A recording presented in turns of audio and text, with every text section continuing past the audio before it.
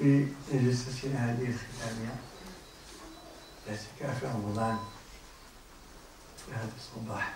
مبارك إن شاء الله. الساعة تشير الحادية عشرة واثنتين وعشرين دقيقة.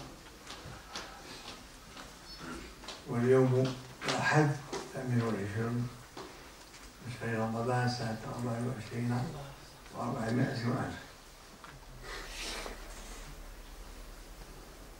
جاء في حديث.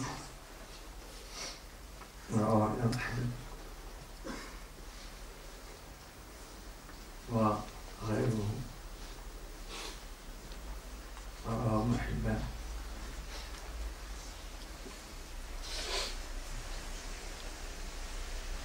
أن رسول الله صلى الله عليه وسلم. عندما استقبل جبريل عليه السلام في حديث الدرس العظيم الذي نقرأه في مسلم في رواية أخرى تقول على أن سأل جبريل عليه السلام سأل الرجل الذي متخفيا بعد أن سأل رسول الله صلى الله عليه وسلم عن الإسلام وعن الإيمان وعن الإحسان سأل أن سأله عن علامات الساعة وأشراطها أخبره بأنه سيكون قوم يتطاولون في البنيان يتطاولون في البنيان قال من هو يا رسول الله؟ قال العريب العريب والعريب تصغير العرب. عرب عريب هل هو تصغير تحقير تصغير تذكير. الحريب كانوا قبائل تعيش في ذلة تعيش في حروب وتناحر. فإذا بهم يتطاولون في البنيان. وجاء في حديث من أن أن أبي مالك أظن إذا تذكرت وإذا لم أتذكر تقول خالد ذاكرة. يس كلام الفارغ الذاكرة لا تخرج. الذاكرة لا تخرج إلا في عرف الغافلين عن الله. الذاكرة تقدمتنا بمراحل وهي في الآخرة. ذهبت. وتركت. لا بلا إذا الله الدرقطني إذا الناس تطاولوا تطاولوا في البنيان على أهل سيدنا عمر الخطاب رضي الله عنه.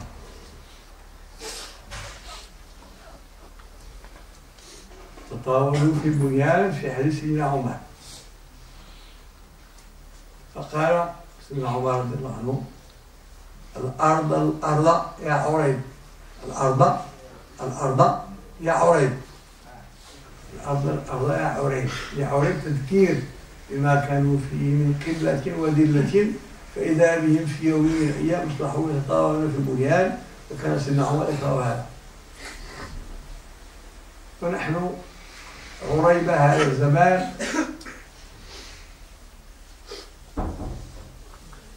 أي درس نستخلصه من كلمة سيدنا عمر؟ أرض الأرض. تواضع التواضع. الأرض الأرض في نفوسنا كي تستكبر وتستعلي وتبتعد عن الله عز وجل وتستحق الخسف والمسخ والخذلان الأرض الأرض عرض الزمان. لكن كان سيدنا عمر رضي الله عنه كان يكره إذا طاول الناس البناء في زمانه وأيامنا.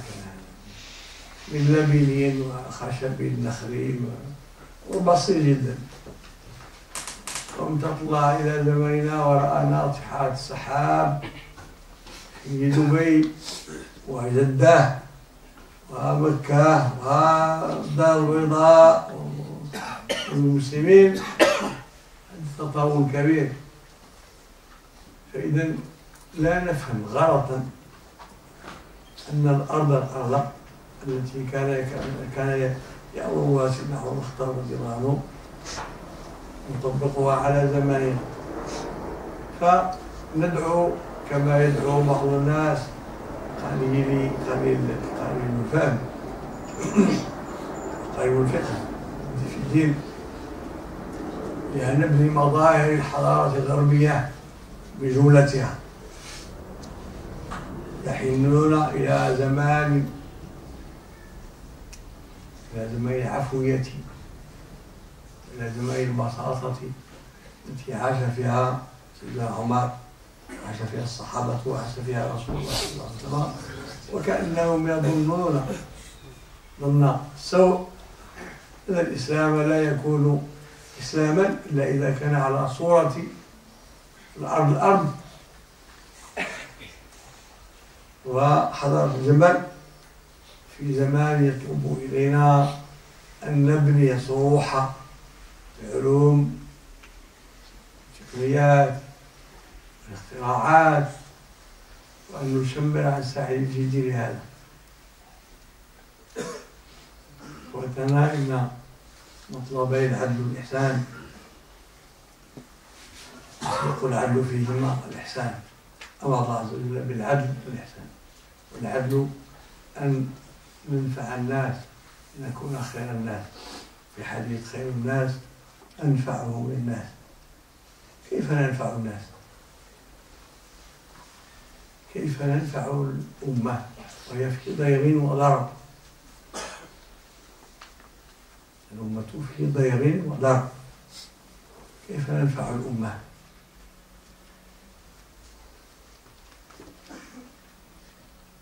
ننفع الأمة بشيء يسمونه في هذا الزمان التنمية. التنمية. إذن خير الناس أنفعهم الناس. ينفع الأمة بماذا؟ أخشى وأنتم تكادون أن تخرجوا من اعتكاف. عشتم ثناءه بعوالم الغيب وعوالم الملائكة وعوالم الاستبشار والبشارة. فننسى ما ينتظرنا من كد وتشمير. ونخشى أن تغرنا المبشرات ولا تصرنا السرور الذي ينهض إمامنا للعمل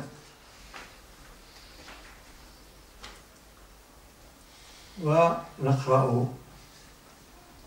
في كتاب الله عز وجل.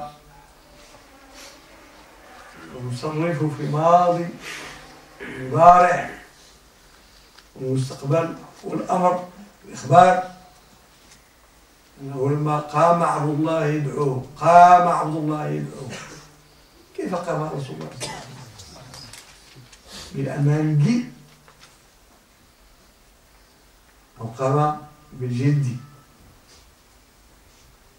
الله كان يشمر صلى الله عليه وآله لعبادته. وفي سائر سنة كان يشمر العمل في كل ميادين كان لا يفتأ صلى الله عليه وسلم في عمل الداء الدؤوب والتحريض على النشاط وعلى وعلى نفع الناس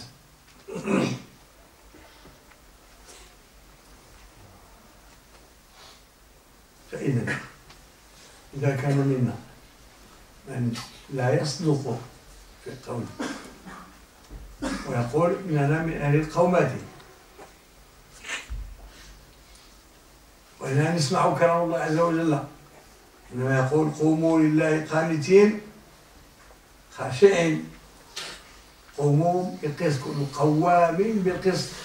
بصيغة المبالغة كونوا قوامين لله شهداء. شهداء ما شهداء. حاضرون حضور شهادة ضد غير. نصدق مع الله يجب أن ننبه أنفسنا وإخواننا بأن مطلب العدل ومطلب الإحسان يريد منا أن نشمر عن سعي الجد دائما مروءة وتخلقا وصدقا ووفاء بالوعد وانفعا للناس. ومشاركة فعالة في التنمية وتنميتها ماذا ماذا تريدون الأمة لكي تنمو؟ تعبئة بلسان الزمان تعبئة شاملة لكل الطاقات المخدرة والمنومة والمقصية. تعبئتها ابتداء مني أنا شخصيا حيث وضعني الله عز وجل. حيث أنا. عاملا تلميذا أو طالبا أو معلما أو أستاذا أو مهندسا أو طبيبا. ومعكم هنا أطباء أو صيادلة حيث ما كنا. ابتداء منا نعبئ نفوسنا لكي نشع. الإيمان بنورية المؤمن القانت لله كونوا قوامين لله. كونوا قوامين بالقسط